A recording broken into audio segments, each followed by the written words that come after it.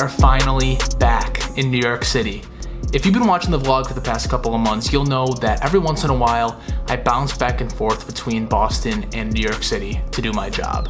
A little bit of backstory on that is that about 10 months ago, when I first started my job, they essentially gave me the proposition of after 12 months from now, you can move to wherever in the country you want. You can either stay here in Boston or you can go to wherever, be it Seattle, San Francisco, Denver, Texas, New York City, or what have you. Obviously, being given that opportunity is incredible, but the only problem with it is that it's kind of overwhelming in terms of deciding where you want to go when you have that many options. So, kind of funny story behind that is that if you watched the video last week, and how I break down exactly how you can decide either which camera you want to purchase or decide to stay with the same camera that you currently have. I'll link it right above right here. I actually used that same exact framework in order to decide what city I was going to move to.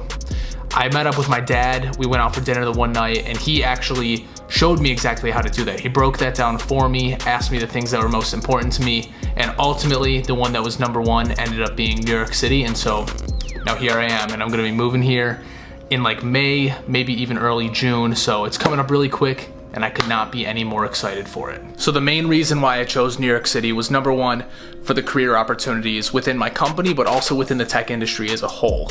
That's an awesome reason to move to New York City, especially right now in 2019. But another awesome reason to move to New York City is for what this YouTube channel is all about, which is photography. New York is my absolute favorite place in the entire world to do photography. And so every time I come here, especially for these week-long business trips, I've been doing plenty of photography, but even when I move here in a couple of months, I'm super excited to be super close to everything that I like to photograph all the time. So going off that note, I knew that I was gonna have a crazy busy work week this week. So I took the first train out Sunday morning, which was this morning, to get here around noon so that I could have a full day of photography today. What I wanna do today is go out and actually shoot some black and white film. I bought this camera, as you know if you've been watching the videos, for my birthday in January this year. And I haven't really shot with it a ton lately just because I haven't necessarily had a ton of opportunities to do so. I shot with it a ton in Ireland when I was there a couple months ago, but work's been crazy busy so I haven't had a ton of opportunities lately. Filming and shooting photos at the same time is kind of a pain to do. So what I've done is this right here.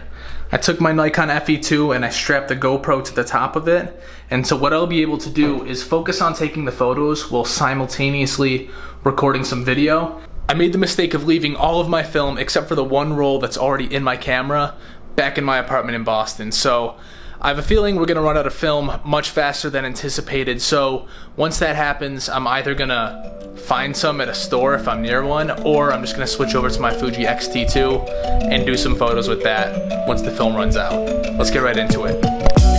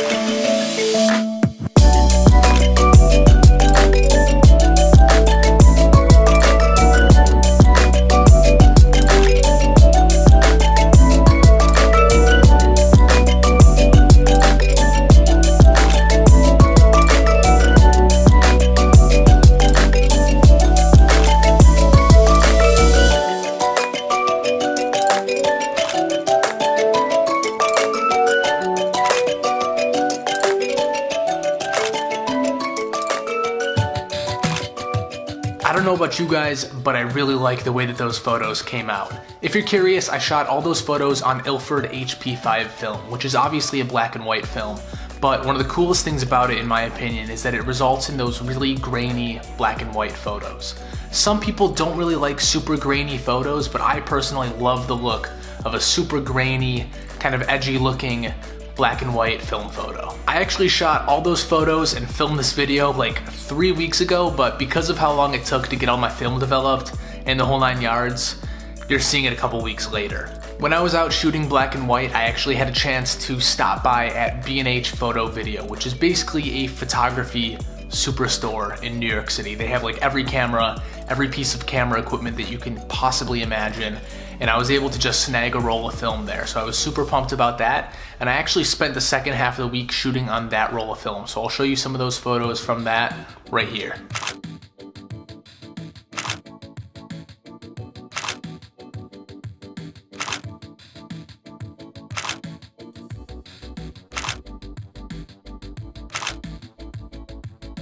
So my favorite shots from this roll of film are definitely the one of the basketball player in front of Freedom Tower, then also the shot of the Flatiron building with the sunlight kind of coming in from the right hand side, and then finally the photo with the guy crossing the road in front of the Empire State Building. Every time I go to New York, I try to capture something going on in front of or around one of the really iconic buildings, and I think that I did a pretty good job doing that with this roll of film. This was actually my first time ever shooting on either of these films. I've never shot on either HP5 or on Pro 400H.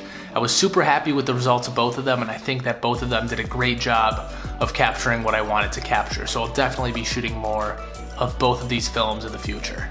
Anyways, I'm gonna close out the video here. Let me know, what did you guys think about me shooting film for one of these photo vlogs? It's kind of refreshing every once in a while to not have the pressure of having to like edit your photos and make them all look insanely good and just kind of being content with whatever the film produces.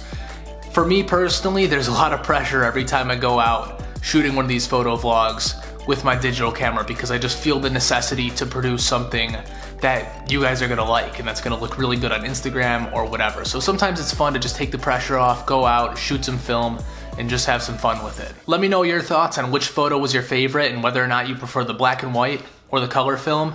As always, thank you a ton for watching. And by the way, thank you to everybody who's subscribed over the past week or so. I got like a hundred more subscribers this weekend because I got featured on Fuji Rumors, which is a big camera gear blog. I'm super pumped about it and thank you to everybody who has subscribed so far. If you're new here, my name is Jason Webber. I produce videos like this every single week. If you enjoyed it, please hit that button below, the subscribe button. Also give me a thumbs up, and I'll see you in the video next week. Thank you. Peace.